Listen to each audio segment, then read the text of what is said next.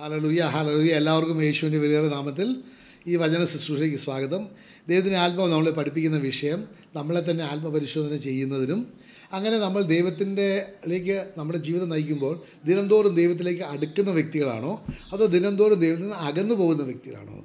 ഇത് നമ്മൾ മനസ്സിലാക്കേണ്ട വലിയ സത്യം ഇതാണ്. കാരണം ദൈവത്തിന്റെ വചനത്തിന്റെ അടിസ്ഥാനത്തിൽ മാത്രമേ നമുക്ക് ദൈവത്തിലേക്ക് അടുക്കാൻ പറ്റുകയുള്ളൂ. കാരണം വഴിയും സത്യവും ജീവനും യേശുവാണ്.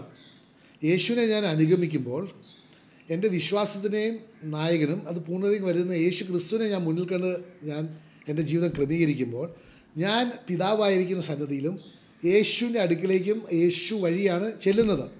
അതേസമയത്ത് ഞാൻ വചനത്തിനൊരു പ്രാധാന്യം കൊടുക്കാതെ ഞാൻ ആചാരം അനുഷ്ഠാനം പാരമ്പര്യം നിയമം മതം അതാണ് എന്നെ അനുഗമി ഞാൻ അനുഗമിക്കുവാനും അല്ല അനുസരിക്കുവാനും തീരുമാനിക്കുന്നതെങ്കിൽ അതിനാണ് ഞാൻ വിധേയപ്പെട്ടിരിക്കുന്നതെങ്കിൽ ദൈവത്തിന്റെ വചനം പറയുന്നുണ്ട് നമ്മൾ ദൈവത്തിൽ നിന്ന് അകന്നകന്നു പോവുകയാണ് ഓരോ ദിവസവും. നമ്മുടെ നിത്യത ദൈവത്തോട് ചെലവഴിക്കുവാനായിട്ട് നമ്മൾ യോഗ്യരായി വരുന്നതിന് പകരം നിത്യത ദൈവത്തോട് ചെലവഴിക്കുവാൻ അയോഗ്യരായി അയോഗ്യരായി അയോഗ്യരായി നമ്മൾ ദൈവത്തിൽ നിന്ന് അകന്നു പോവുകയാണ്. അതുകൊണ്ടാണ് ഗലേഷ്യൻസ് അഞ്ചാമത്തെ അധ്യായം ഏഴാമത്തെ വചനം ഒരു ചോദ്യമാണ്. നിങ്ങൾ നന്നായിട്ട് ഓടുന്നുണ്ട് പക്ഷേ സത്യത്തിൽ നിന്ന് ആരാ നിങ്ങളെ മാറ്റിവെച്ചത്? സത്യമെന്ന് പറയുന്നത് ദൈവത്തിന്റെ വചനമാണ്. അതുകൊണ്ട് നമുക്ക് ഒരു വിശുദ്ധിയായ ഒരു ജീവിതം നയിക്കാനുള്ള തീക്ഷ്ണത പോരാ. അത് മാത്രം പോരാ. പക്ഷെ വചനത്തിന്റെ അടിസ്ഥാനത്തിലായിരിക്കണം.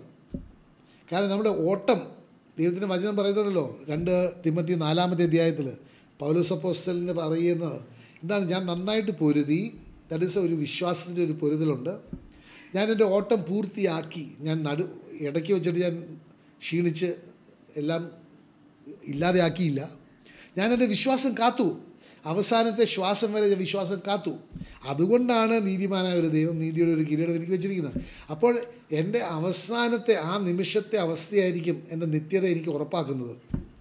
നമുക്കറിയാം ഒന്നെങ്കിൽ അത് നേടുവാനോ നഷ്ടപ്പെടുവാനോ അവസാനം വരെ നമ്മൾ നമ്മുടെ വിശ്വാസം കാക്കണം.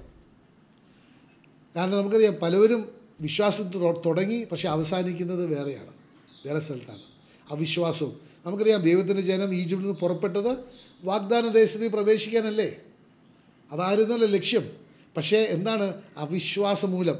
ദൈവമായിട്ട് മല്ലിട്ടതിന്റെ അടിസ്ഥാനത്തിൽ അവർ ആ വാഗ്ദാന ദേശത്ത് പ്രവേശിക്കാതെ മരിച്ചു വീണു മരുഭൂമിയിൽ കാരണം അവരുടെ വിശ്വാസം ഇല്ലാതെ ക്ഷയിച്ചു പോയി. പക്ഷേ ജോസഫ് അല്ല ജോഷുവയും കാലേബും അതുപോലെ തന്നെ പ്രായപൂർത്തി ഇരുപത് വയസ്സ് താഴ്ന്ന ഇറങ്ങി വന്നപ്പോൾ ഇരുപത് വയസ്സ് താ താഴെ ഉണ്ടായിരുന്ന പ്രായം കുറവുണ്ടായിരുന്ന വ്യക്തികളൊക്കെ അവർ വിശ്രമത്തിലേക്ക് പ്രവേശിച്ചതാണ് പറയുന്നത് അപ്പോൾ അവസാനത്തെ നിമിഷം വരെ നമ്മുടെ വിശ്വാസം കാക്കണം. അതുതന്നെ വളരെ വ്യക്തം അവസാനത്തെ നിമിഷത്തിലെ അവസ്ഥയാണ് നമ്മുടെ ജീവൻ നമ്മളെ രക്ഷിക്കുന്നത്. നമുക്കറിയാം യേശുവിനോട് കൂടെ ക്രൂശിതനായ ആ ഒരു കള്ളൻ. അവന് ചിലയിടത്തൊക്കെ വിളിക്കുന്നത് നല്ല കള്ളൻ എന്നാണ് കള്ളന്മാർ നല്ലതാണോ? എന്തായാലും നല്ല കള്ളൻ വിളിക്കുന്ന കാരണം അവൻ നല്ലൊരു പ്രവൃത്തി ചെയ്തു. എന്താണ്? ദൈവത്തെ പ്രീതിപ്പെടുത്തി. എപ്പോഴാണ് അവസാനത്തെ ശ്വാസത്തിൽ എന്ന് പറയാം. എങ്ങനെയാണ് ദൈവത്തിൽ വിശ്വസിച്ചു? കർത്താവ് എന്ന് ഏറ്റു പറഞ്ഞു അല്ലേ?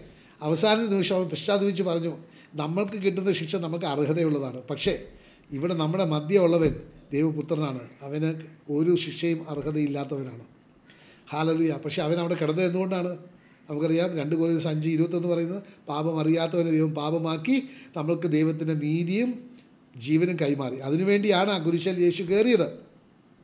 അങ്ങനെ ആ നല്ല കള്ളൻ അവസാന നിമിഷമാണ് പശ്ചാത്തപിച്ച് യേശുവിനെ കർത്താവേ എന്ന് വിളിച്ചു. നീ പർദീസലാകുമ്പോൾ എന്നെ ഒന്ന് ഓർക്കണം എന്ന് വെച്ചാൽ അവൻ വിശ്വസിച്ചു. നടുക കിടക്കുന്നത് ദൈവമാണ്.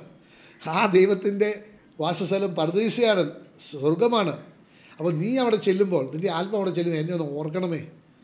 എന്നെ കൈവിടരുത് എന്ന് പറഞ്ഞ് അവന്റെ വിശ്വാസം അവൻ ഏറ്റു പറഞ്ഞു. കർത്താവെ എന്ന് വിളിച്ചു. ദൈവത്തിന് സമർപ്പിച്ചു. He was submitted to God അതുകൊണ്ടാണ് ദൈവം പറയുന്നത് ഭയപ്പെടേണ്ട നീ ഇന്ന് എന്റെ കൂടെ പ്രതീക്ഷയിലായിരിക്കും ദൈവത്തിന്റെ വചനം പറയുന്നുണ്ട് റോമാർക്കുലാരും പത്താമത്തെ അധ്യായത്തിൽ ദൈവത്തിന്റെ നാമം യേശുവിന്റെ നാമം വിളിച്ച് അപേക്ഷിച്ച് എല്ലാവരും രക്ഷ പ്രാപിക്കും. സൗര ഇന്ന് ദിവസമായി നീ യേശുവിനെ നിന്റെ കർത്താവ് രക്ഷണമായിട്ട് സ്വീകരിച്ചിട്ടില്ലെങ്കിൽ ഇന്ന് നീ യേശുവിനെ സ്വീകരിക്കുകയാണെങ്കിൽ നീ നിത്യജീവനിലേക്ക് പ്രവേശിച്ചു കഴിഞ്ഞു. ഇതാണ് അവസരങ്ങൾ ദൈവം തരുന്നത്. അല്ലാതെ പെട്ടെന്ന് മരിച്ചു കഴിഞ്ഞിട്ട് പിന്നെ ഞാൻ അറിഞ്ഞില്ല കേട്ടില്ല. എന്റെ പുരോഹിതി ഇങ്ങനെ അങ്ങനെ പഠിപ്പിച്ചത്. എന്റെ പോപ്പ് പറഞ്ഞ നിയമം ഇതാണെന്നൊക്കെ പറഞ്ഞിട്ട് ഒരു ഒഴിവും ഇല്ല. ഇന്ന് നിനക്ക് സുബോധത്തിൽ ഒരു തീരുമാനമെടുക്കണം. ഞാൻ എന്റെ യേശുവിന് സബ്മിറ്റഡ് ആകും അതാണ് നമുക്കറിയാം. ദൈവത്തിന്റെ ആത്മാവ് നമ്മൾ പഠിപ്പിക്കുന്ന വിഷയം ഇതാണ്. യഥാർത്ഥ ഒരു ക്രിസ്ത്യാനി ആരാണ്? അവന്റെ രക്ഷയ്ക്ക് വേണ്ടി യേശു ക്രിസ്തുവിന് ആവശ്യമുണ്ട്. യേശു ക്രിസ്തുവിന് പുറമേ രക്ഷയില്ല. യേശു ക്രിസ്തു നാമത്തിൽ മാത്രമേ രക്ഷയുള്ളൂ എന്ന് അവൻ സമ്മതിക്കുകയാണ് അംഗീകരിക്കുകയാണ്. രണ്ടാമത് അതിന്റെ അടിസ്ഥാനത്തിൽ ആ ദൈവമാകുന്ന അവന്റെ നാമം ദൈവവചനമാണ്. അങ്ങനെ വചനത്തെ യേശുവാകുന്ന വചനത്തിന് കീഴ്പ്പെട്ട് സമർപ്പിച്ച സമർപ്പണ ജീവിതം. പിന്നെ അവന്റെ ജീവിതം യേശുവിനെ സമർപ്പിക്കുകയാണ് അവൻ. He's committing his life to Jesus ഇനിയുള്ള ജീവിതകാലം മുഴുവൻ ദൈവമേ എന്റെ ജീവിതം അങ്ങയുടേതാണ്. ഞാൻ അങ്ങ് അങ്ങ് വിലയ്ക്ക് വാങ്ങിക്കപ്പെട്ടവനാണ്. My life belongs to you Jesus അങ്ങനെ ഒരു കമ്മിറ്റ്മെന്റ് എടുക്കുക. മൂന്ന് നാലാമതെന്താണ്? ആ സന്തോഷം മറ്റുള്ളവരോട് പങ്കുവയ്ക്കുന്ന വ്യക്തി. അതുകൊണ്ട് സബ്മിറ്റഡ് ആകണം. ഹാലലുയ ദൈവത്തിന്റെ വചനത്തിൽ സബ്മിറ്റഡ് ആയാൽ മാത്രമേ സബ്മിറ്റഡ് ആയ ഒരു വ്യക്തി അനുസരിക്കും അല്ലേ? നമുക്ക് ഒരു അധികാരത്തിന്റെ കീഴിലാണ് ഞാനെന്ന് പറയുമ്പോൾ ആ അധികാരമുള്ള വ്യക്തിയെ ഞാൻ അനുസരിക്കുകയല്ലേ? അല്ലെങ്കിൽ എങ്ങനെ? അധികാരം എന്ന് പറയുന്നത് അധികാരം എന്ന് പറഞ്ഞാൽ അതോറിറ്റി നമുക്കറിയാം യേശുവിനെ ഒരു ശതാബ്ദം വന്നിട്ട് അവന്റെ ഒരു ഭൃത്യന് അസുഖമായി അവന് സൗഖ്യം കൊടുക്കണമെന്നൊക്കെ പറഞ്ഞ് വന്നപ്പോൾ യേശു വരാമെന്ന് പറഞ്ഞപ്പോൾ അവൻ പറഞ്ഞു എന്താണ്? ദൈവമേ എനിക്കും എന്റെ കീഴിൽ എന്റെ അധികാരത്തിന് കീഴിൽ ആൾക്കാരുണ്ട്. ഞാൻ അവരോട് ഇങ്ങോട്ട് വരാൻ പറഞ്ഞാൽ അവർ വരും പോകാൻ പറഞ്ഞാൽ പോകും. അപ്പോൾ അതോറിറ്റി എന്ന് പറഞ്ഞാൽ കീഴ്പ്പെട്ട് അനുസരിക്കുന്ന വ്യക്തികളുണ്ട്. അപ്പോൾ ഇന്ന് ദൈവത്തിന്റെ വചനത്തിന് നീ സമർപ്പിച്ചപ്പെട്ട വ്യക്തിയാണ് അല്ലെങ്കിൽ ആ വചനത്തിന്റെ കീഴിലാണ് യേശുവിന് കീഴിലാണെന്ന് പറഞ്ഞാൽ യേശുവിന്റെ വചനം അനുസരിക്കുന്ന വ്യക്തിയായിരിക്കണം. അല്ലാതെ യേശുവിന്റെ കർത്തത്തിന്റെ കീഴിലാണെന്ന് ഒരു സ്ഥലത്ത് പറയുകയും വചനമൊക്കെ ഓ അതൊന്നും ശരി കുഴപ്പമൊന്നുമില്ല അതൊക്കെ അങ്ങനെ ചെയ്യാം. അത് ഞങ്ങളെ സഭ പഠിപ്പിച്ചിരിക്കുന്നത് കുഴപ്പമൊന്നുമില്ല വിഗ്രഹങ്ങളൊക്കെ ഉണ്ടാക്കുന്നതിന് കുഴപ്പമൊന്നുമില്ല. അതിന്റെ മുമ്പിൽ മുട്ടുകുത്തുന്നതോ ആചരിക്കുന്നതോ പ്രാർത്ഥിക്കുന്നതോ ഉമ്മ വയ്ക്കുന്നതോ നേർച്ച കൊടുക്കുന്നതോ മാലയിടുന്നതോ സാരി ഉടുപ്പിക്കുന്നതോ ഒന്നിനും കുഴപ്പമില്ല. എന്ന് പറയുന്നത് അത് അനുസരണയുടെ അടയാളമല്ല. അത് അനുസരണയ്ക്ക് പകരം എന്താണ്? വിപ്ലവമാണ്. You are revolting against God's word നമുക്കറിയാം റിവോൾട്ട് ചെയ്യുന്നവർക്ക് ശിക്ഷ എന്താണ്? മരണശിക്ഷയാണ്. ഹാലലൂയ നമുക്കറിയാം പണ്ടത്തെ കാലത്ത് ഈ കപ്പലിൽ യാത്ര ചെയ്യുമ്പോൾ മ്യൂട്ടിനി എന്ന് പറയും അല്ലേ? ക്യാപ്റ്റനോട് എതിരായിട്ട് റിവോൾട്ട് ചെയ്യുന്നതാണ് മ്യൂട്ടിനി അവരുടെ എന്താണ്? They have to walk the plank plank എന്ന് പറഞ്ഞാൽ ഒരു തടി കഷ്ണം വയ്ക്കും അവർ ആ ലാംഗ്വേജ് നടന്ന് കടലിലോട്ട് വീഴണം. അത് മരണം. മരണശിക്ഷയാണ്.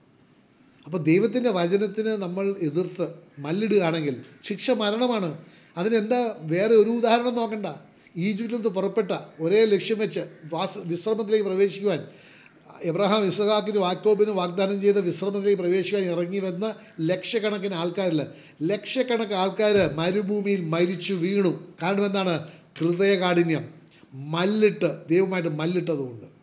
സഹോദര അതുകൊണ്ട് ഇന്ന് നീ ദൈവത്തിന്റെ വചനം അനുസരിക്കുന്നില്ല. അല്ലെങ്കിൽ സഭ പറയുന്ന വ്യാഖ്യാനം ഇതാണ്. ഓ എന്നാ പറയുന്നത്? വിഗ്രഹങ്ങളെ ഉണ്ടാക്കുന്നതിന് കുഴപ്പമൊന്നുമില്ല. അത് ഞങ്ങൾക്ക് ആ പുണ്യാളനെ ഓർക്കാനായിട്ട് ആ പുണ്യാളനെ എന്തിനാണ് ഓർക്കുന്നത്? നിനക്ക് യേശുവിനെ ഓർത്താൽ പോരെ. യേശു അവിടെ നിൽക്കുന്നതിൽ നിൽക്കുമ്പോൾ നിനക്ക് പുണ്യാളന്റെ ആവശ്യം എന്താണ്? അപ്പോൾ നീ യേശുവിനെ തരം താത്തുകയല്ലേ യേശുവിനേക്കാൾ കൂടുതൽ ശക്തിയുള്ളൊരു പുണ്യാളനുണ്ട് എന്ന് പറയുകയല്ലേ? പക്ഷേ ദൈവം പറയുന്നത് എന്താണ്?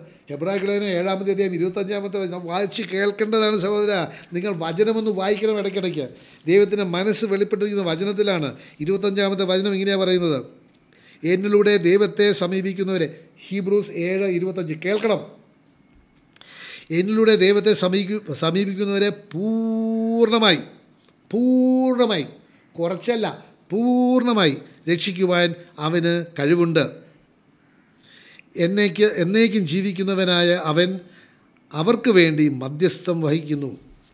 He is able to save to the uttermost those who come to God through him and he always lives to make intercession for them അങ്ങനെ ഒരു ദൈവം എനിക്ക് നിങ്ങൾക്ക് വേണ്ടി സ്വർഗസ്വനായ പിതാവിന്റെ സന്നദ്ധിയിൽ മധ്യസ്ഥം വഹിക്കുമ്പോൾ ഈ മണ്ണിന്റെ അടിയിൽ കിടക്കുന്ന യേശുവിന്റെ രണ്ടാമത്തെ വരവിന് വേണ്ടി കാത്തിരിക്കുന്ന ഒരു പുണ്യാളനോടാണോ പ്രാർത്ഥിക്കേണ്ടത്? ഇതാണ് വചനത്തിന് സമ സമർപ്പണമില്ലാത്തത്. ദൈവമായിട്ട് മല്ലിട്ട ഒരു ജീവിതം. പക്ഷേ ദൈവത്തിന് സമർപ്പിക്കുകയാണെങ്കിൽ സഹോദര നമ്മളുടെ പദവി എന്തായിരിക്കും എന്നറിയാമോ ദൈവം ഇന്ന് നമ്മൾക്ക് ഇമാനുവൽ എന്ന് പറഞ്ഞ് ദൈവം നമ്മോട് കൂടെ എന്ന് പറയുന്ന ദൈവം പരിശുദ്ധാത്മാവാണ്. നമുക്കറിയാം മത്തായുടെ സുശേഷം ഒന്നാമത്തെ അതേ ഇരുപത്തിമൂന്നാമത്തെ വചനം ദൈവത്തിന് യേശുവിനൊരു വേറൊരു നാമം കൊടുത്തിട്ടുണ്ട്. അവനെ ഇമാനുവൽ എന്ന് വിളിക്കണം. ദൈവം നമ്മോട് കൂടെ എന്ന് പറയുന്ന ഒരു ദൈവത്തിന്റെ പരിശുദ്ധാത്മാവാണ് അത്. അതുകൊണ്ടാണ് ദൈവം യോഹനാൻ സൂക്ഷിച്ച് പറയുന്നത് ഞാൻ പോയിട്ടില്ലെങ്കിൽ എനിക്ക് പരിശുദ്ധാത്മാവിന് സഹായകനെ അയക്കാൻ പറ്റുകയില്ല. അതുകൊണ്ട് ഞാൻ പോവുകയും ഞാൻ പിതാവിനോട് പ്രാർത്ഥിച്ച് പരിശുദ്ധാത്മാവിനെ അയക്കുകയും ആ പരിശുദ്ധാത്മാവ് നിങ്ങളിലൂടെ എന്നേക്കും വസിക്കും. ആ പരിശുദ്ധാത്മാവ് നമ്മുടെ സഹായകനാണ് നമ്മളുടെ ഉപദേശിക്കുന്നവനാണ് പഠിപ്പിക്കുന്നവനാണ് നമ്മളുടെ അഡ്വക്കേറ്റാണ് നമ്മുടെ ടീച്ചറാണ് കൗൺസിലറാണ് നമ്മുടെ എല്ലാം എല്ലാമാണ് ആ പരിശുദ്ധാത്മാവ്. ആ പരിശുദ്ധാത്മാവിനാൽ നയിക്കപ്പെടുമ്പോൾ നമ്മൾ എങ്ങോട്ടാണ് പരിശുദ്ധാത്മാവ് നയിക്കുക? പരിശുദ്ധാത്മാവിന് ഒരു വഴിയേ അറിയുള്ളൂ. ദൈവത്തിന്റെ സന്നിധി. കാരണം എന്താണ്? പരിശുദ്ധാത്മാവ് യേശുവിന്റെ ആത്മാവാണ്. അയുന്നീ പിതാവിന്റെ ആത്മാവാണ്. ദൈവത്തിന്റെ ആത്മാവാണ് പരിശുദ്ധാത്മാവ്. അപ്പോൾ പരിശുദ്ധാത്മാവിന് ഒരു വഴിയേ ഉള്ളൂ ഒരു ലക്ഷ്യമേ ഉള്ളൂ. നമ്മളെല്ലാവരെയും ദൈവത്തിലേക്ക് ആകർഷിക്കുക. അതുകൊണ്ടാണ് ദൈവത്തിന്റെ വചനം നമ്മളോട് യോഹനാന്റെ സുവിശേഷം ആറാമത്തെ അധ്യായം നാൽപ്പത്തഞ്ചാമത്തെ വചനം പറയുന്നത് എല്ലാവരും ദൈവത്തിന്റെ ആത്മാവിനാൽ പഠിപ്പിക്കപ്പെടും. അങ്ങനെ പിതാവിനാൽ പഠിപ്പിക്കപ്പെടുന്ന പിതാവിന്റെ ആത്മാവാകുന്ന പരിശുദ്ധാത്മാവിനാൽ പഠിപ്പിക്കപ്പെടുന്നവരൊക്കെ അവർ മാത്രമാണ് എന്നിലേക്ക് ആകർഷിക്കപ്പെടുന്നത്. അതുകൊണ്ട് ഇന്ന് പരിശുദ്ധാത്മാവ് നയിക്കപ്പെടുന്ന വ്യക്തികൾ എല്ലാം ദൈവത്തിന്റെ സന്നദ്ധിയിലേക്ക് കൊണ്ടുപോവുകയുള്ളൂ. അങ്ങനെ ദൈവത്തിന്റെ സന്നദ്ധിയിലേക്ക് പോകുവാൻ തീരുമാനിച്ച് പരിശുദ്ധാത്മാവിന് വിധേയപ്പെട്ട വ്യക്തികൾ അവരുടെ പദവി മാറുകയാണ്. എങ്ങനെയാണ്? ദൈവത്തിന്റെ വചനം റോമർ ലേഖനം എട്ടാമത്തെ അധികം പതിനാലാമത്തെ വചനം പറയുന്നുണ്ട്. ദൈവത്തിന്റെ ആത്മാവിനാൽ നയിക്കപ്പെടുന്നവരൊക്കെ ദൈവത്തിന്റെ മക്കളാണ്. പണ്ട് നമ്മൾ പിശാചിന്റെ മക്കളായിരുന്നു. പക്ഷെ ദൈവം ദൈവത്തിന്റെ അത്ഭുതകരമായ ആ ഒരു പ്രവൃത്തി ഒരു നിഗൂഢമായ രഹസ്യം കാൽവിരി കുരിശയിലുള്ള ആ രഹസ്യം ആ അതിന്റെ it is a mystery salvation is a mystery hallelujah. എനിക്ക് വേണ്ടി നിങ്ങൾക്ക് വേണ്ടി മനുഷ്യരാശിക്ക് വേണ്ടി പകരക്കാരനായിട്ട് മരിച്ച യേശു എന്റെ നിങ്ങളുടെ പാപം ഏറ്റെടുത്തിട്ട് ജീവൻ അർപ്പിച്ച് രക്തം ചിന്തി ജീവൻ രക്തത്തിൽ ജീവൻ രക്തത്തിലാണ്. അങ്ങനെ രക്തം ചിന്തി എന്നെ നിങ്ങളെ സൗജന്യമായിട്ട് ആലോലിയ മോചിപ്പിച്ച് പാപത്തിന്റെ പാപത്തിന്റെ വേദനമാകുന്ന മരണത്തിൽ നിന്ന് വീണ്ടെടുത്ത് മോചിപ്പിച്ച് നീതീകരിച്ച് നമ്മളുടെ പദവി മാറ്റി. അല്ലേ? അതാണ് പത്രോസിന്റെ ലേഖനം. ഒന്ന് പത്രോസ് രണ്ടാമത്തെ അധ്യായം പറയുന്നത്. നമ്മൾ പണ്ട് അന്ധകാരത്തിലായിരുന്നു. പക്ഷേ ദൈവം നമ്മളെ അവന്റെ അത്ഭുതകരമായ പ്രകാശത്തിലേക്ക് കൊണ്ടുവന്നു. നമ്മൾ ഒരു ജനമല്ലായിരുന്നു. ഇപ്പോൾ ദൈവത്തിന് ജനമാക്കി. പണ്ട് കരുണ ലഭിച്ചിട്ടില്ലായിരുന്നു. ഇപ്പോൾ കരുണ ലഭിച്ചു. അങ്ങനെ നമ്മുടെ പദവി തന്നെ മാറ്റി. എന്നിട്ട് ദൈവത്തിന്റെ മക്കളാക്കുകയാണ്. അതുകൊണ്ടാണ് റോമൻസ് പതിനഞ്ച് എട്ട് പതിനഞ്ച് പറയുന്നത്. നമുക്കിനി ദൈവം തന്നിരിക്കുന്ന ഭീരുത്വത്തിന്റെ ആത്മാവിനെയല്ല ഭീരുത്വം എന്ന് പറഞ്ഞാൽ ഭയം. ഭയം എന്ന് പറഞ്ഞാൽ പിശാചിൽ നിന്ന് ഉത്ഭവിക്കുന്ന ഭയം. പക്ഷേ നമ്മളുടെ പദവി മാറ്റി നമ്മളുടെ ആ ദൈവത്തിന്റെ ഭവനത്തിന് അംഗ അംഗങ്ങളായതുകൊണ്ട് ഹാലലു അതാണ് എഫിഷ്യൻസ് ഒന്നാമത്തേത് പതിനെട്ടാമത്തെ വചനം പറയുന്നത്. ഒരേ ആത്മാവിൽ ഇരു കൂട്ടർക്കും പിതാവിന്റെ സന്നിധി വരുവാനുള്ള സന്നദ്ധ കഴിവ് കൊടുത്തു. എന്താണ്? പിതാവ് മക്കൾക്ക് പിതാവിന്റെ സന്നിധി വരുവാനായിട്ട് പറ്റിയല്ലേ? ഒരേ ആത്മാവിൽ. അപ്പോൾ ദൈവത്തിന്റെ ആത്മാവ് നമ്മളെ നയിക്കുന്നത് പിതാവിന്റെ സന്നദ്ധിയിലേക്കാണ് അങ്ങനെയാണെങ്കിൽ അടുത്ത വചനം പറയുന്നുണ്ട് അല്ലെ എഫിഷ്യൻസി രണ്ട് പത്തൊൻപത് ഇനി മുതൽ നിങ്ങൾ അന്യരോ പരദേശികളോ അല്ല പക്ഷേ മറ്റ് സഹ വിശുദ്ധന്മാരോടുകൂടി നമ്മൾ ദൈവഭവനത്തെ അംഗങ്ങളാണ്. അങ്ങനെ അംഗങ്ങളെക്കുറിച്ചാണ് ദൈവത്തിന്റെ വചനം റോമൻസ് എട്ട് പതിനഞ്ചിൽ പറയുന്നത്. നമുക്ക് തന്നിരിക്കുന്നത് ബീരുത്വത്തിന്റെ ആത്മാവിനെ അല്ല പക്ഷേ പുത്ര സ്വീകാരത്തിന്റെ ആത്മാവിനെ. അങ്ങനെ നമുക്ക് അബ്ബാ പിതാവേ എന്ന് വിളിച്ചു വിളിക്കാനുള്ള കഴിവ് ദൈവം തരികയാണ് ഒരു ജ്ഞാനം തരികയാണ് ഒരു വെളിപാട്. ആ വെളിപാട് നമുക്ക് എങ്ങനെ കിട്ടി? അത് ഫിലോസഫിയോ തിയോളജിയോ കോളേജിൽ പോയി ഡിഗ്രി എടുത്തതുകൊണ്ടല്ല. ഹാലലൂയ ഹാലലൂയ ഹാലലൂയ ഹാല അത് പരിശുദ്ധാത്മാവ്. അതാണ് പതിനാറാമത്തെ വചനം. റോമൻസ് എട്ട് പതിനാറ് പറയുന്നുണ്ട്. അത് ദൈവത്തിന്റെ ആത്മാവ് നമ്മുടെ ആത്മാവിന് വെളിപ്പെടുത്തി കൊടുത്തിട്ടുണ്ട്. നമ്മളിപ്പോൾ ദൈവത്തിന്റെ മക്കളാണ്. അപ്പോൾ നിങ്ങൾ ആരാണ്? മക്കളാണ്. എപ്പോഴാണ്? ദൈവത്തിന്റെ ആത്മാവിനാൽ നയിക്കപ്പെടുകയാണെങ്കിൽ അങ്ങനെ മക്കളാണെങ്കിൽ അടുത്ത വചനം പതിനേഴ് പറയുന്നത് എന്താണ്? നമ്മൾ ദൈവത്തിന്റെ അവകാശികളാണ് അല്ലേ? പിതാവിന്റെ എല്ലാ സ്വത്തിന്റെ അവകാശികളും മക്കളല്ലേ? അങ്ങനെയാണെങ്കിൽ മക്കളാണെങ്കിൽ ദൈവത്തിന്റെ അവകാശികളും. പിന്നെ എന്താണ്? ദൈവത്തിന്റെ ഏ ഏ മൂത്ത പുത്രൻ ആരാണ്? യേശു ക്രിസ്തു യേശു ക്രിസ്തുവിനോട് കൂടെ പിതാവിന്റെ മക്കളാണ് നമ്മൾ. അതുകൊണ്ട് നമ്മൾ യേശു ക്രിസ്തുവിനോട് കൂടെ കൂട്ടവകാശികളാണ്. അതാണ് യോഹനാന്റെ സുവിശേഷം. ഇരുപത്തൊന്നാമത്തെ അധ്യായത്തിൽ ദൈവം മഗ്നത മറിയത്തോട് പറയുകയാണ് ഞാൻ എന്റെ പിതാവും നിങ്ങളുടെ പിതാവും എന്റെ ദൈവവും നിങ്ങളുടെ ദൈവത്തിന്റെ സന്നദ്ധിയിലേക്ക് ഉത്താനം ചെയ്യാൻ പോവുകയാണ് എന്തുകൊണ്ടാണ്? രക്തം കൊണ്ട്. രക്തം എന്തിനാണ്? പാപത്തിന് വേദനമാകുന്ന മരണം ഏറ്റെടുത്തു. അവരെല്ലാവരും ലോക മനുഷ്യരാശി നീതീകരിക്കപ്പെട്ട് കഴിഞ്ഞിരിക്കുക എന്നുള്ളതിന്റെ ആ ഒരു പൂർത്തീകരണം വെളിപ്പെടുത്തുവാനായിട്ട്. ദൈവത്തിന്റെ സന്നിധിയിൽ അനുസരണ അവിടെ പോവുകയാണ്. ഹാലോ അപ്പോൾ ഇന്ന് നമ്മൾ മനസ്സിലാക്കണം ദൈവത്തിന്റെ ആത്മാവിനാൽ നയിക്കപ്പെടുകയാണെങ്കിൽ തീർച്ചയായിട്ടും നമുക്ക് ജീവനുണ്ട്. പിന്നെയും നമുക്കറിയാം ആ ദൈവത്തെ പ്രീതിപ്പെടുത്തിയ ദൈവത്തിന് വിധേയപ്പെട്ട് ജീവിച്ചാൽ മാത്രമേ നമുക്ക് ദൈവത്തെ പ്രീതിപ്പെടുത്താൻ പറ്റുകയുള്ളൂ. നമുക്കറിയാം ദൈവത്തിന്റെ വചനം നമ്മൾ മത്തായുടെ സുവിശേഷം മൂന്നാമത്തെ അധ്യായം വായിക്കുമ്പോൾ അവിടെ ദൈവം ആ എന്നാ പറയുന്നത് പരസ്യ ലോകത്തിലെ ശുശ്രൂഷ തുടങ്ങുന്നതിന് മുമ്പ് ഉപവസിച്ചു പ്രാർത്ഥിച്ചു. നാൽപ്പത് ദിവസം അത് കഴിഞ്ഞിട്ട് യോഹനാൻ മന്ത വഴി സ്നാനമേറ്റു. സ്നാനമേറ്റു കഴിഞ്ഞപ്പോൾ നമുക്കറിയാം ദൈവത്തിന്റെ വചനം പറയുന്നുണ്ട് പരിശുദ്ധാത്മാവ് അഭിഷേകം അഭിഷേകത്താൽ നിറഞ്ഞ് ഒരു പ്രാവിന്റെ രൂപത്തിൽ വരികയും സ്വർഗം തുറക്കപ്പെടുകയും പിതാവായ ദൈവം അവിടെ അരുൾ എന്താണ്? ഇതാണ് എന്റെ പ്രിയപുത്രൻ അവനിൽ ഞാൻ പ്രസാദിച്ചിരിക്കുന്നു. എങ്ങനെയാണ് പ്രസാദിച്ചിരിക്കുന്നത്? കാരണം ഇവൻ ഈ ലോകത്തിലേക്ക് വന്നത് അവന്റെ ദൈവത്വം എല്ലാം അവിടെ വെച്ചിട്ട് നാം ഒരു ദാസന്റെ രൂപമെടുത്ത് ലോകത്തിലേക്ക് വന്നത് എന്തിനാണ്? കാൽവിരി കുരിശയിൽ മനുഷ്യരാശിയുടെ രക്ഷയ്ക്ക് വേണ്ടിയാണ്. എന്നെ അനുസരിച്ച് എന്റെ അനുസ എന്റെ ഹിതം നിറവേറാൻ വേണ്ടിയാണ് വന്നത്. അതുകൊണ്ടാണ് ഞാൻ ഇവനിൽ പ്രസാദിച്ചിരിക്കുന്നു. സഹോദര സഹോദരി അതേ പ്രസാദത്തെക്കുറിച്ച് ദൈവം ഹെബ്രാഹികളേനും പതിനൊന്നാമത്തെ അധ്യായം ആറാമത്തെ വയസ്സെന്ന് പറയുന്നുണ്ട്. വിശ്വാസമില്ലാതെ ദൈവത്തെ പ്രസാദിപ്പിക്കുക അസാധ്യമാണ്. അവനിലേക്ക് വരുന്നവൻ ദൈവം ദൈവമാണെന്നും അവൻ അവനെ തീക്ഷണ അന്വേഷിക്കുന്നവർക്ക് പ്രതിഫലം കൊടുക്കുന്ന ദൈവമാണെന്നും നമ്മൾ വിശ്വസിക്കണം. അപ്പോൾ വിശ്വാസമില്ലാതെ ദൈവത്തെ പ്രീതിപ്പെടുത്തുക അസാധ്യമാണ്. ഒരു വിശ്വസിക്കുന്ന വ്യക്തി ദൈവത്തിന്റെ വചനത്തിന് കീഴ്പ്പെട്ട് ജീവിക്കും സമർപ്പിക്കും. വചനം അവൻ ചോദ്യം ചെയ്യുകയില്ല. വചനത്തോട് ഞാൻ യോജിക്കുന്നില്ല എന്ന് പറയുകയില്ല. വചനത്തിന് വിപരീതമായ എന്തെങ്കിലും പഠിപ്പീരോ പ്രബോധനമുണ്ടെങ്കിൽ അത് അത് തള്ളിക്കളയും. അത് സ്വീകരിക്കുകയില്ല. അത് ഉച്ഛിഷ്ടമായിട്ട് കണക്കാക്കും. അതിനോട് യോജിക്കുകയില്ല. പക്ഷേ ഇന്ന് മതം പഠിപ്പിക്കുന്നത് പല പല പഠിപ്പീരുകളും ദൈവത്തിന്റെ വചനത്തിന് വിപരീതമായിട്ടാണ്. ദൈവത്തിന്റെ വചനത്തിൽ നിന്ന് ഉത്ഭവിക്കേണ്ട ഒരു വിശ്വാസത്തിന് വിപരീതമാണ്. എന്നാണ് ശിശു ശിശുസ്നാനം മതി എന്ന് പറയുന്നുണ്ട്. അല്ലേ? വീണ്ടും ജനിക്കേണ്ട ആവശ്യമില്ല. ദൈവത്തിന്റെ വചനത്തിന് വിപരീതമാണ്. മർക്കോസ് പതിനാറ് പതിനാറ് പറയുന്നത് നീ വിശ്വസിക്കണം സ്നാനമേക്കണം നീ രക്ഷ പ്രാപിക്കും. അപ്പോൾ വിശ്വസിക്കണം എന്ന് പറയുന്നത് നിനക്ക് സുബോധമുണ്ടായി. നിനക്ക് ആത്മീയ ഒരു പക്വത വന്നു കഴിഞ്ഞിട്ട് തീരുമാനം നീ തീരുമാനിക്കേണ്ടതാണ്. ഞാൻ ലോകത്തോടും പാപത്തോടും പിശാചിനോടും മരിക്കാൻ പോവുകയാണ്. ഇനി മുതൽ ഞാനല്ല ജീവിക്കുന്നത് ഞാൻ യേശുവിനോട് ക്രൂശിതനായി. ഇനി മുതൽ ഞാനല്ല ജീവിക്കുന്നത് യേശുവാണ് എന്നിൽ ജീവിക്കുന്നത്. അങ്ങനെ ഒരു സമർപ്പണ ജീവിതം നയിക്കുവാനായിട്ടും യേശുവിനോട് കൂടെ ലയിച്ച് ചേരുവാനായിട്ടുള്ള തീരുമാനമെടുക്കണം. അതാണ് വീണ്ടും ജനിക്കുന്നത്.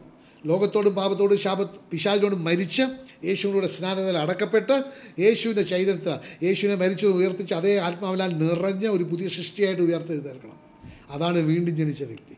അങ്ങനെയുള്ളൊരു വ്യക്തിക്ക് മാത്രമേ സ്വർഗരാജ്യം കാണുവാനും പ്രവേശിക്കാൻ പറ്റുകയുള്ളൂ സഹോദര.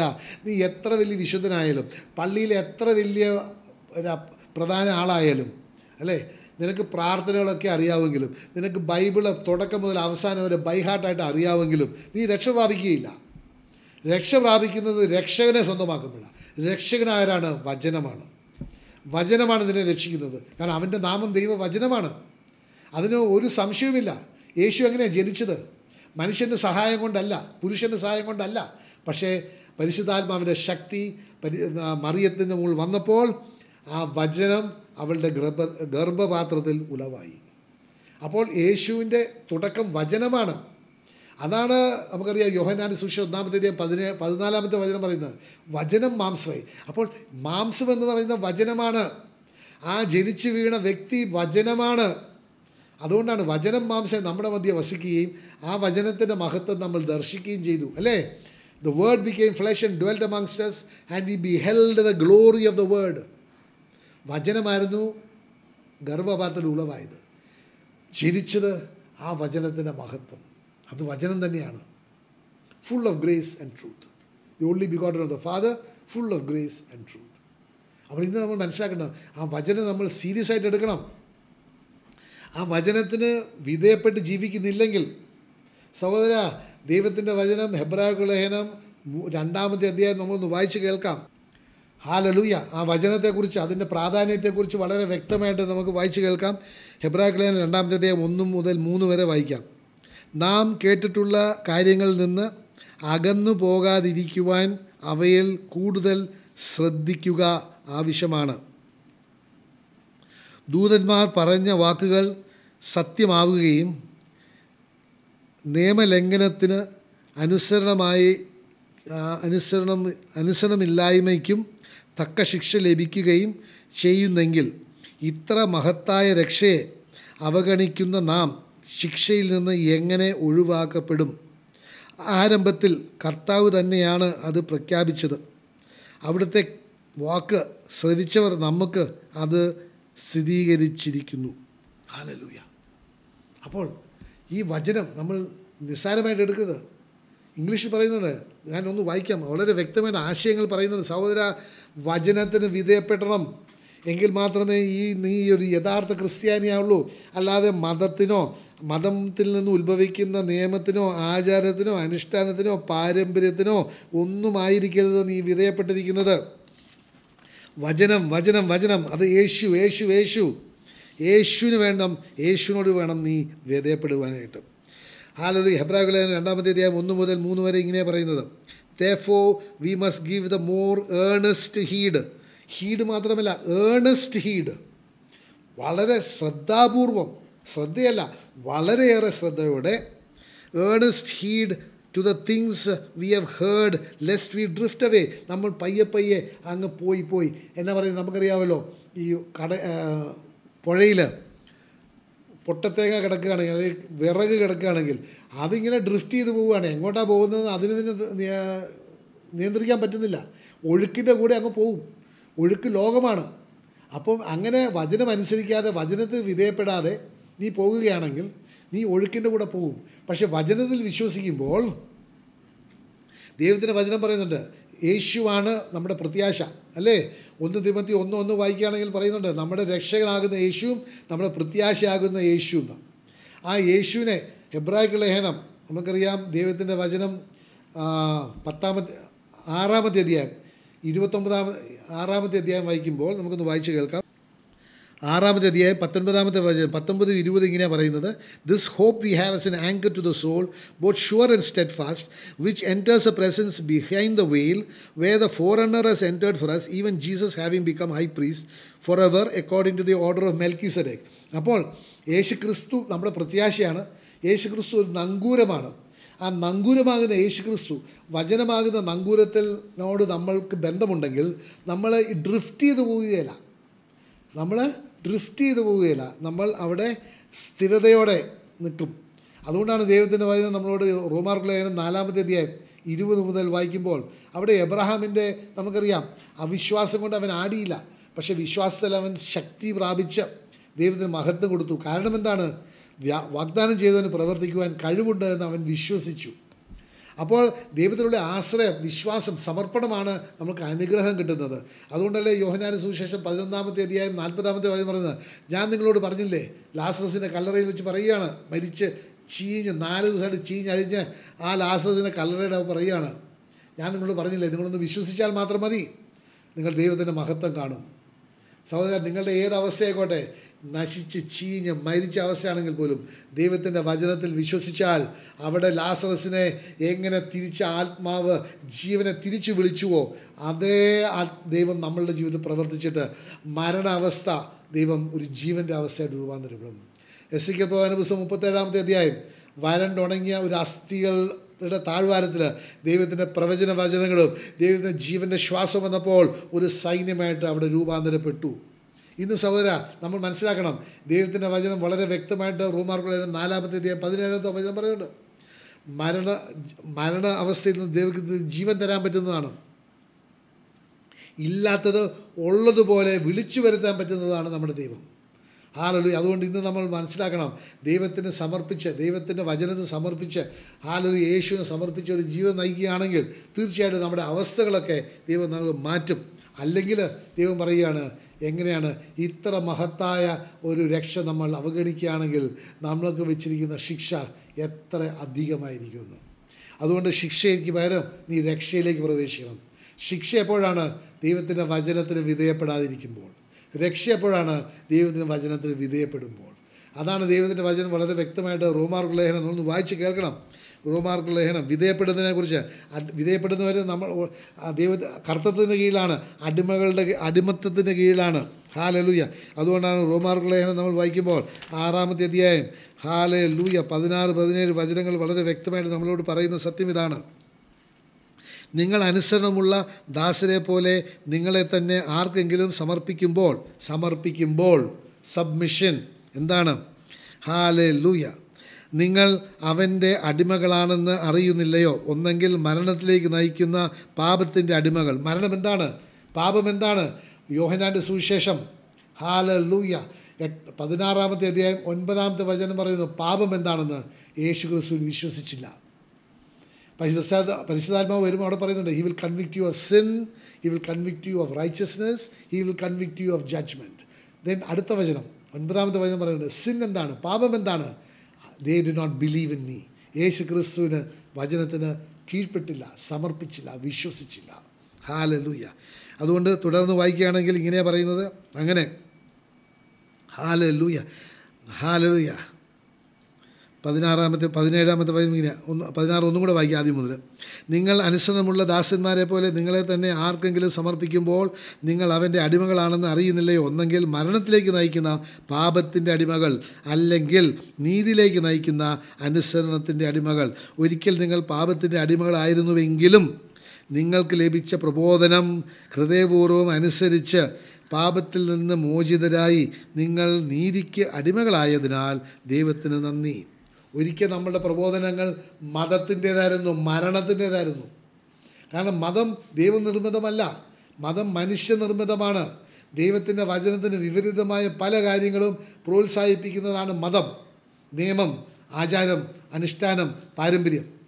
അതിന് വിധേയപ്പെടുകയാണെങ്കിൽ നീ മരണത്തിലേക്കാണ് പോകുന്നത്. പക്ഷേ നീ- അനുസരണത്തിനോട് സമർപ്പിക്കുകയാണെങ്കിൽ അനുസരണം എന്താണ്? ദൈവത്തിന്റെ വചനം. വചനത്തിന് നീ അനുസരിക്കുകയാണെങ്കിൽ and if you are submitted to obedience it will lead you to righteousness നീ നീതിയിലേക്കാണ് വചനം നിങ്ങൾ നയിക്കുക. കാരണം എന്താണ്? റോമൻസ് ഒന്നാമത്തെ അധികം പതിനേഴാമത്തെ വചനം പറയുന്നുണ്ട് ദൈവത്തിന്റെ നീതി വെളിപ്പെട്ടിരിക്കുന്ന ദൈവത്തിന്റെ വചനത്തിലാണെന്നും ആ വചനം നിന്നെ വിശ്വാസം വിശ്വാസത്തിലേക്ക് വളർത്തുമെന്നും നീതിമാൻ വിശ്വാസം വഴിയാണ് ജീവിക്കുന്നത്. അങ്ങനെ സഹോദര സഹോദരി നമ്മൾ മനസ്സിലാക്കേണ്ട സത്യം ഇതാണ്. ദൈവത്തിന്റെ വചനത്തിന് സമർപ്പിച്ച ഒരു ജീവിതം നയിക്കുകയാണെങ്കിലാണ് നീ യഥാർത്ഥത്തിലുള്ള ക്രിസ്ത്യാനി. കാരണം ദൈവത്തിന്റെ വചനം വളരെ വ്യക്തമായിട്ട് പറയുന്നു നീ ഒരു ശിഷ്യൻ. ആരാണ് ശിഷ്യൻ? യോഹനാടി സുഷ എട്ടാമത്തെ അധ്യായത്തിൽ പറയുന്നത് നിങ്ങൾ എന്റെ വചനത്തിൽ നിലനിൽക്കുന്നുവെങ്കിൽ നിങ്ങൾ യഥാർത്ഥത്തിൽ എന്റെ ശിഷ്യനാണ് സഹോദര ശിഷ്യന്മാർക്ക് മാത്രമേ ദൈവമായിട്ടൊരു ബന്ധമുള്ളൂ. നിത്യജീവൻ എന്ന് പറയുന്നത് എന്താണ്? ഏകസത്യ ദൈവത്തെയും അവനായ യേശു ക്രിസ്തുവിനെ അറിയുക. യോഹനാൻ പതിനേഴ് മൂന്ന്. അങ്ങനെ നിത്യജീവൻ പ്രാപിച്ച് ജീവിക്കുവാൻ നിങ്ങൾ ഒരു തീരുമാനം എടുക്കണമെന്ന്. കണ്ണുകടയ്ക്കാൻ പ്രാർത്ഥിക്കാം. അപ്പോൾ പിതാവ് ഇന്ന ദിവസം നന്ദി പറയുന്നു. അങ്ങേക്ക് വിധേയപ്പെട്ട് ആലോലി അങ്ങയുടെ സമൃദ്ധിയിൽ അങ്ങയുടെ ജീവൻ അനുഭവിച്ച് ജീവിക്കാനുള്ള തീരുമാനം ഞങ്ങൾക്ക് തരണമേ.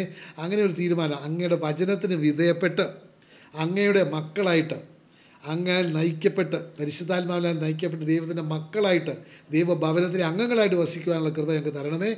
ആ മഹത്വത്തിന് ആ കൃ ആ കൃപ ഞങ്ങളിലേക്ക് തന്നു കഴിഞ്ഞിരിക്കുകയാണ്. അങ്ങനെ ഞങ്ങളെ ദൈവത്തിന്റെ മക്കളാക്കി കഴിഞ്ഞിരിക്കുന്ന ഓർത്ത് ഞങ്ങൾ നന്ദി പറയുന്നു. എല്ലാ മഹത്വ പിതാവെ അങ്ങേക്ക് യേശുവിനെ വിലറിയ നാമത്തിൽ ആമേൻ ആമേൻ ആമേൻ.